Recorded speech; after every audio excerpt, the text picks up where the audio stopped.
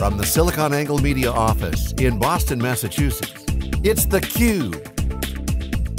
Now, here's your host, Dave Vellante. Hello everyone and welcome to this week's episode of theCUBE Insights powered by ETR. You know, this past week, we attended the Dell Technologies Industry Analyst event. And in this breaking analysis, I want to summarize the key takeaways and discuss some of the macro trends in the industry that are affecting Dell. I'll also discuss some of the fundamental assumptions that Dell is making in its operating model, and I'll talk about some of the challenges that I see for the company going forward in hopefully what is a frank manner. Now let me start with the event itself. It was held in Austin, Texas, and it's clear that Austin, Texas is becoming the epicenter of Dell post-acquisition of EMC. It's shifting strongly back to Texas, while the legacy of EMC remains what is the most critical part of Dell's portfolio, thanks to VMware. The energy of Dell emanates from its founder, Michael Dell. The event was attended by about 250 press and analysts over a two-day period. It was very well run, with strong levels of executive access, which is always very important to the analyst, and lots of transparency and I thought clarity of message. Now the number one takeaway on this is Dell, in four years, the company has gone from irrelevance to a dominant and highly relevant player in the enterprise tech, especially to CIOs, and it's one of the most amazing transformations of a company that personally I've ever seen, and I've seen several. there were four other key takeaways for me that I'll, I'll show on this first slide, uh, Alex, if you bring it up. First, Michael Dell has put forth a set of moonshot goals for 2030. Let me give you some examples. By 2030, Dell says that for every product that they sell, they're going to recycle an equivalent product. By 2030, 50% of the global workforce of Dell will be women, and 40% of the managers of people will be women. 25% of the US workforce will be either Hispanic or African.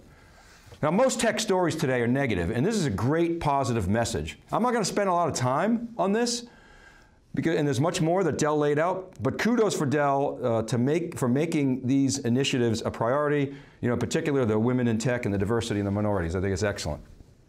The second takeaway is Dell, for, uh, for Dell is, Dell is being driven by Jeff Clarke, and this guy is on a mission to simplify the portfolio. Dell claims it's reduced its product portfolio from 88 platforms down to 20 uh, of that Power platforms. That Power is the new brand. Now the reality is Dell really hasn't deprecated 68 products. Uh, many, if not most, are still around. Uh, but the R&D energy is all going into the new stuff. Now the third takeaway was a big announcement around PowerOne. Power One is Dell's new platform for the next generation of converged infrastructure.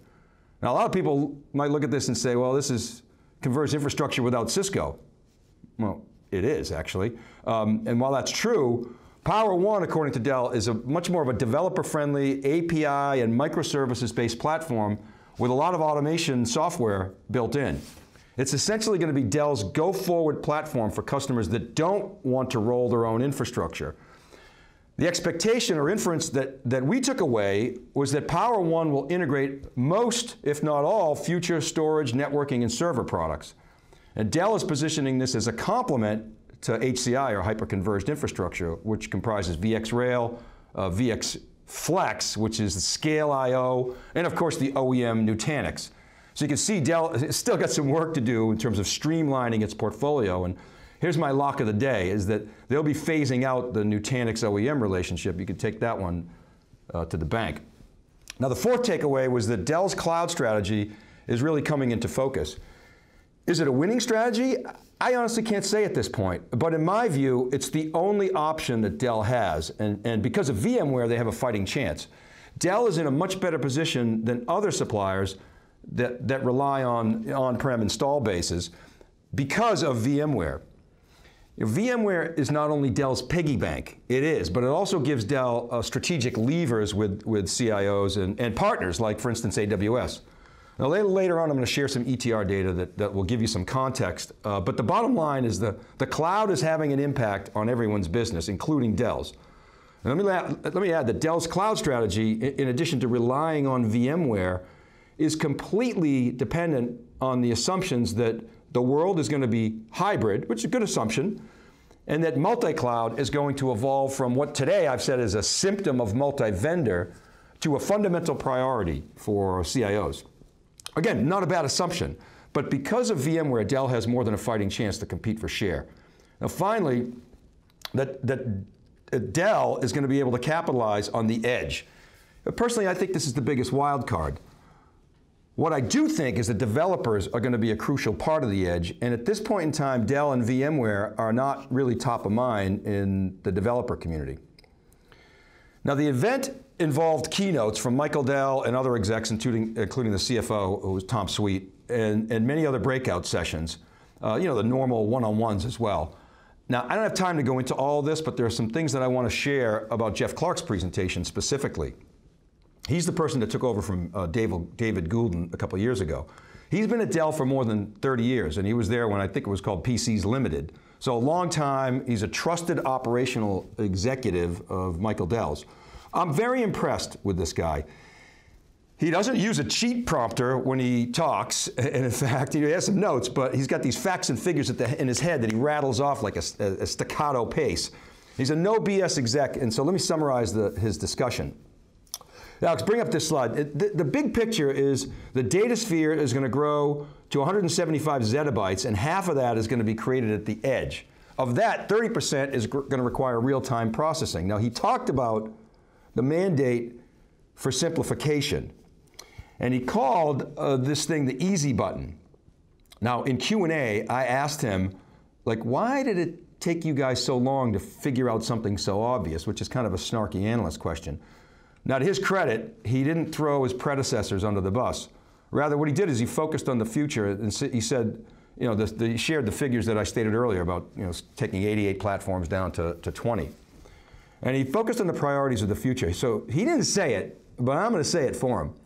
He inherited a very messy portfolio, and he had to clean up the crime scene. Let me tell, let me tell you what a buyer said about uh, EMC back in 2018. This is from the ETR Venn survey, where they go out and they probe you know, specific uh, customers and they talk to them. This guy says NetApp has done a really good job of advertising and positioning itself within the cloud and within data centers themselves, they've got a broad portfolio, uh, and I don't want to make comments about uh, NetApp, but so just, I'm not sure I agree with all this, but okay, come back to his statements. And, and they've, they've integrated fairly well. Here's what's relevant. What he said was EMC, on the other hand, is not as well integrated. They've got a broad portfolio, but it's not necessarily easy, easy to pick and choose from the different categories. Okay, so I agree with that. You know, look, the mega launch product du jour worked for EMC. It allowed them to carry on for another five or six years after the downturn. But the lack of integration eventually caught up to them, and it, and it will always, you know, caught up, uh, catch up to, to large companies who rely on, on either lots of M&A or spinning out new products with lots of overlap. Anyway, I digress. The third thing that Clarke talked about was the big market size and the share gains. PCs are a $200 billion market, servers are an $80 billion market, and external storage is a $26 billion market. Dell has gained 600 basis points, according to Clarke, uh, in PCs over the last six years. 400 came in the last three years, 375 basis points in storage in the past two years. Now, of course, what he didn't mention is that was after a dismal performance a few years earlier, so they had a pretty easy compare. But my point is this. When you talk to Michael Dell, you talk to Tom Sweet, you talk to Jeff Clarke and all the people, folks in the company, share gains are critical to Dell's strategy, especially because the cloud is taking so much share of wallet in the enterprise, and I'll make some other comments on that. Now finally, there are two fundamental beliefs that Dell has um, that I want to share with you. One is that they can be a consolidator of these core markets in a, in a downturn, Dell thinks they can hold their breath, you know, so to speak, longer than the competitors. And of course, in an upmarket, they think they can accelerate their leverage points, which leads to the second belief that Jeff Clarke talked about, which is how Dell will deliver differentiation and value. So he cited four items there.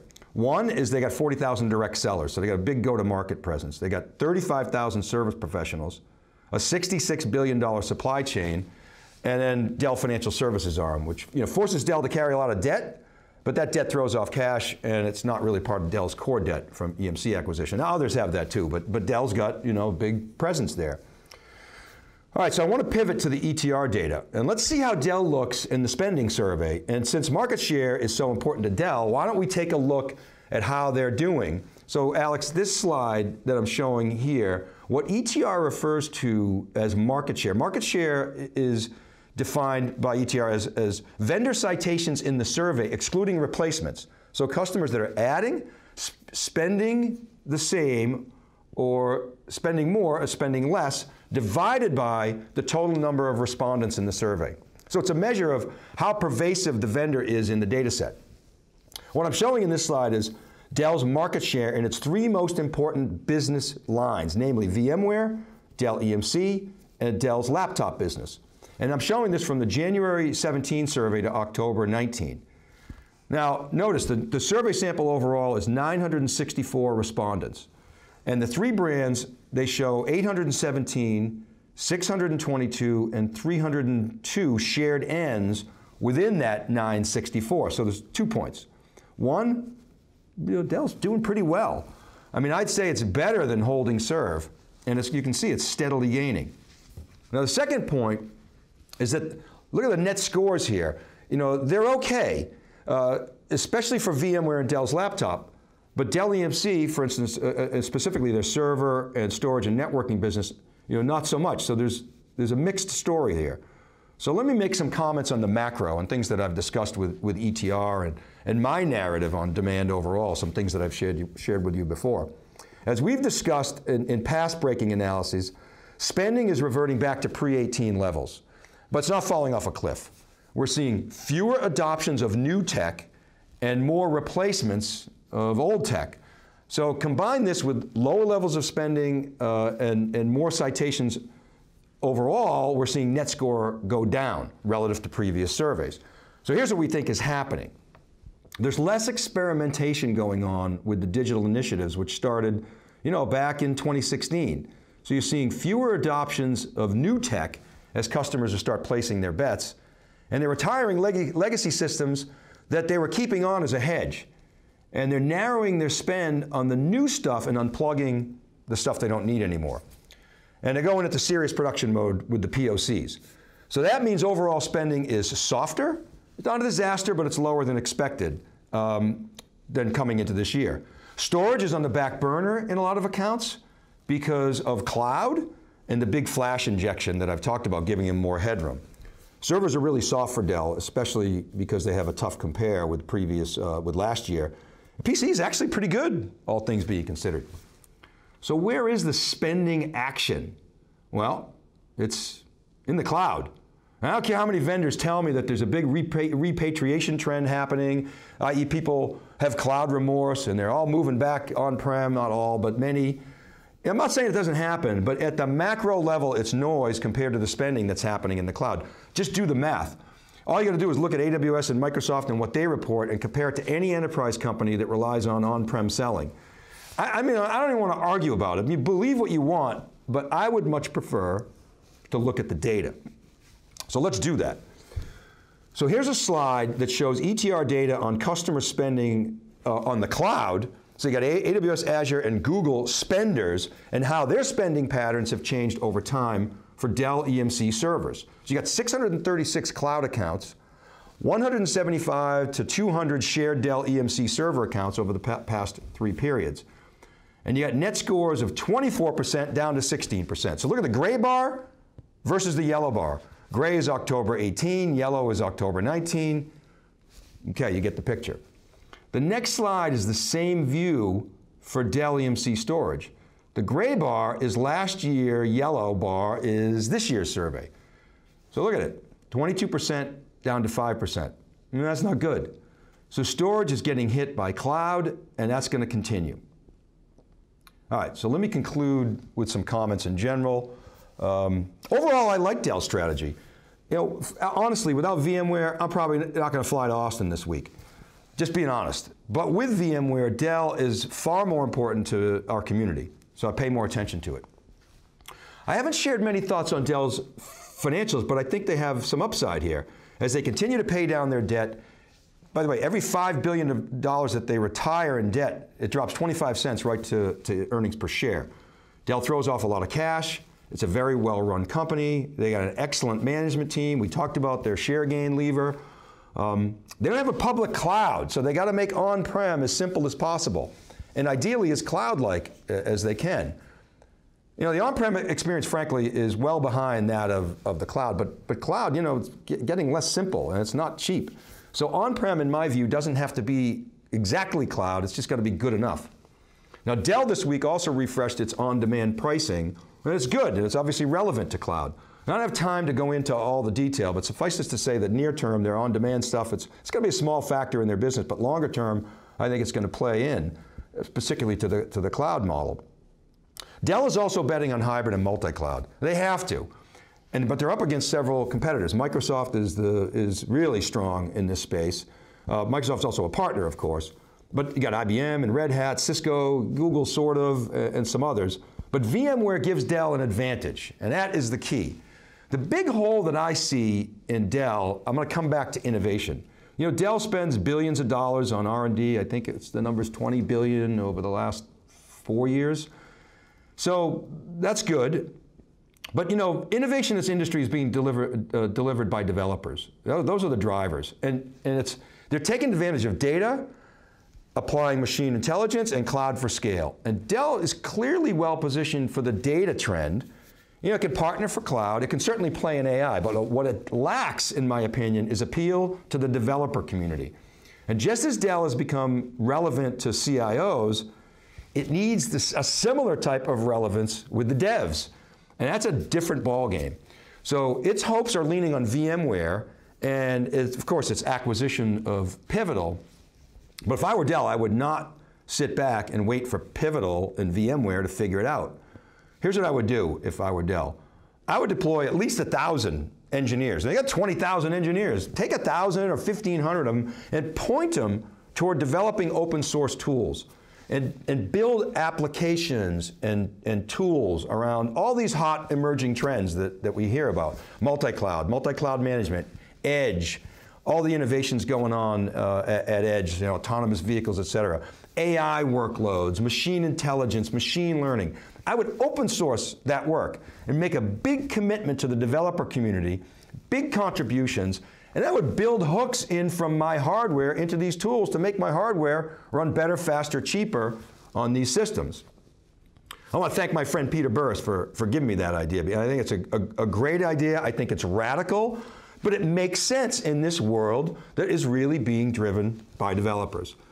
Okay, this is Dave Vellante signing out from this episode of Cube Insights powered by ETR. Thanks for watching. We'll see you next time.